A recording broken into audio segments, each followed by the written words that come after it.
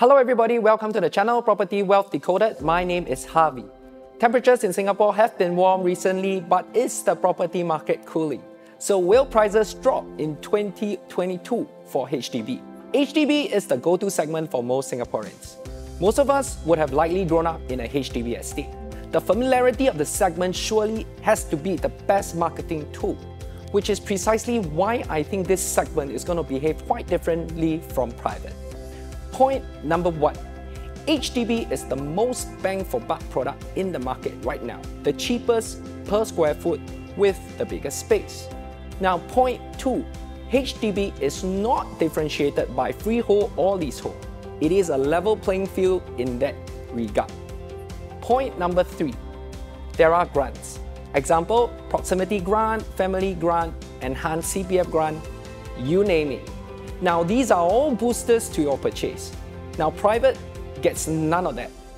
So this is possibly the new sandwich class product in Singapore. Looking at the past, EC was always pitched as a sandwich class product.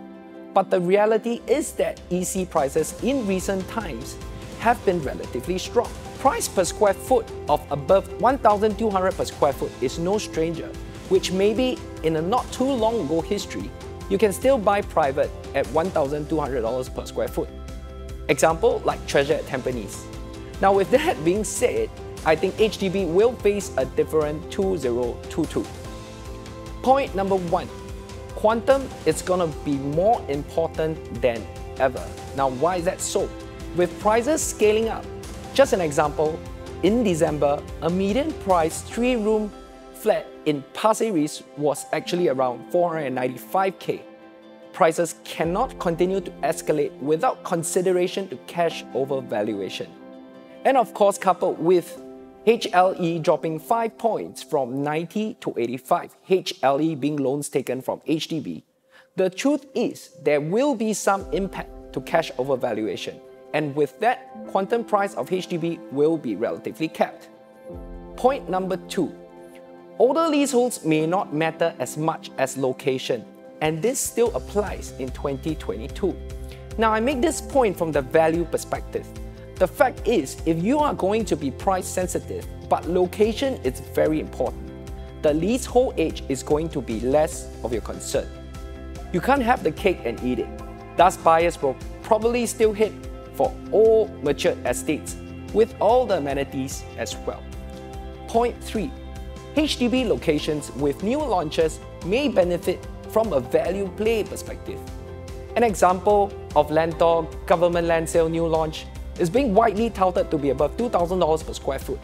Could play to the value perspective of older leases of say Ang Mo Kio flats as well because people may feel that it's cheaper there to buy a flat than ever before. So locations with new launches may bring new price point perspectives again to older flats around the area. Point number four, central location million dollar flats should continue its bull run. The buyers of these flats are likely downsizing from previous homes or value buyers comparing it against condo.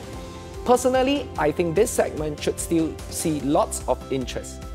In summary, I think if prices of private properties continue to move to combat inflation, then HDB should be the bigger winner in 2022 with prices remaining strong.